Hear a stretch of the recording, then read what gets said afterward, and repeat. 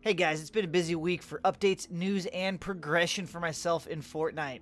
Earlier this week, Battle Royale was released free to play to the public, and since then, there has already been one dev Q&A, a dev update video, and patch 1.6.4 for the PvP mode Battle Royale. The Q&A and the dev update were released a few minutes apart on the 28th, and the dev update video is literally the BR devs reading and answering some of the questions from the Q&A document they published over on their, their forum. I'll have links to both in the description below.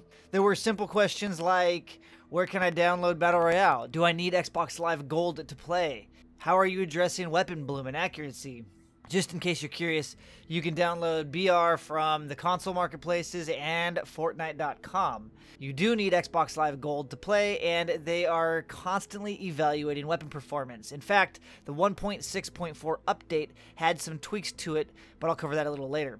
There were some questions regarding new features like are they adding voice chat? Their response was yes, voice chat is on the priority list and is a must have feature, so it is coming.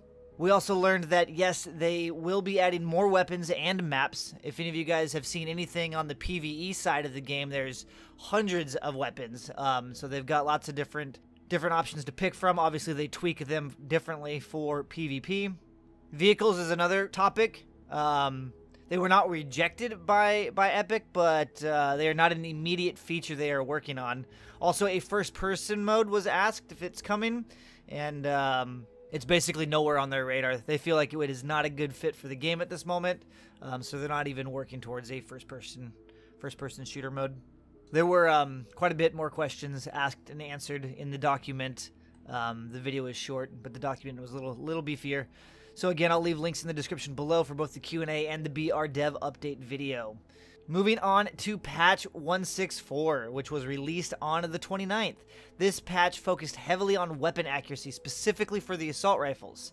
If you haven't played much with the assault rifles and or naturally have potato aim and are not super sensitive to details on how your weapons are responding to your, your aiming and your trigger pulls, then you might start to see an increase in your kills after this update. The reason being is that guns in Battle Royale don't always shoot where your crosshair is pointing at, as frustrating as it is. Um, to make your gun fire as accurately and consistently as possible to where you're actually aiming, you pretty much have to crouch and stay still. Otherwise, the moment you start walking, strafing, or even hip firing, uh, you can kiss your accuracy goodbye. You'll be shooting up, down, left, right, anywhere but where you're physically aiming. On a side note, there are different rarities of weapons common, uncommon, rare, epic, and legendary. And the higher the quality, the more accurate and more damage it will do. So uh, that's that's where the design and the balancing comes in. Um, when you start off and you grab a, a gray colored or a green colored M4 and you're dodging somebody back and forth and firing and frustrated why you're not hitting headshots because your cursor's on, it's because the the rarity of the weapon. They're dialing that in. The shitty accuracy mechanic was intentional, but um, the community obviously hasn't approved of this, and there has already been two dramatic accuracy buffs pre-launch, and this 164 update is yet another accuracy increase. If you want to see the raw numbers on what they did to tweak the accuracy, check the link to the notes below.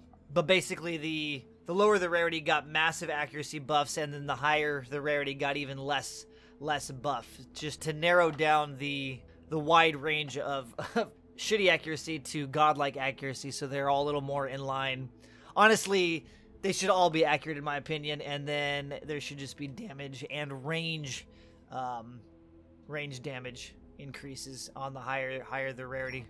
But that's just me. I like to sh- I like I like my bullets to go where I'm pointing. I have Battlefield 1 for guns that want to misfire and shoot off to the side. okay, let's shift gears over to the PvE side of things. For those of you that are not aware, Survive the Storm is ending on October 2nd at 4 a.m. Eastern Time. That's like a day and a half, people. The next event, Horde Bash, does not have an official release date yet, uh, but I assume it's very, very soon.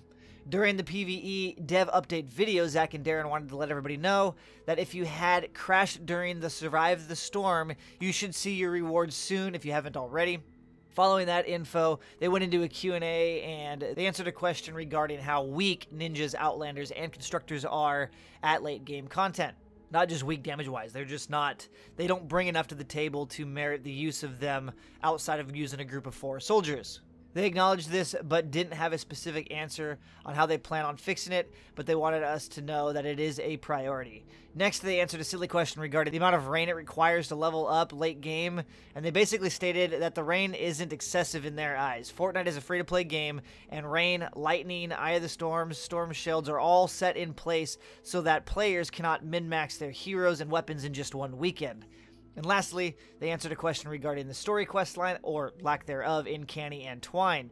They basically said that they are hard at work creating new story missions for these zones, and they are also trying to figure out ways for the players that have already progressed through some of these zones to be able to have an option to go back and experience the missed story quests if they choose to. And finally, yesterday Zach posted a Challenge the Horde game mode primer over on their forum in order to help some of us prepare and also just to put out more information regarding the Horde Bash mode that is just around the corner. Links to this thread in the PvE dev update will also be available in the description below. Some highlights of the article let us know that there are 100 plus challenges, aka difficulties, to complete. This is uh this is also a four player mode, and each player is allowed one defender. I did not know that, so uh, start leveling up your defenders, peoples. Like now, get them leveled, get them leveled because they are additional. So you can have four players and four defenders. There are 29 consecutive quest rewards that provide scavenger tickets and or a chance of a rare defender, melee or ranged epic scavenger weapon, legendary scavenger makeshift launcher transform key, legendary scavenger weapon transform key, and a legendary scavenger hero. You can play six challenges a day for scavenger tickets and horde points. I think the horde points are what are used for your skill tree, so they're going to limit how much you can progress through your skill tree as well, it sounds like, per day. Each reward has a 24 hour cooldown before you can earn another. Higher difficulty earns more scavenger tickets, that's a given. Scavenger llamas will be replacing the storm llamas, and we will have access to four new scavenger heroes and nine new scavenger weapons. So yeah, it's been it's been a busy week for all things Fortnite, as well as for myself.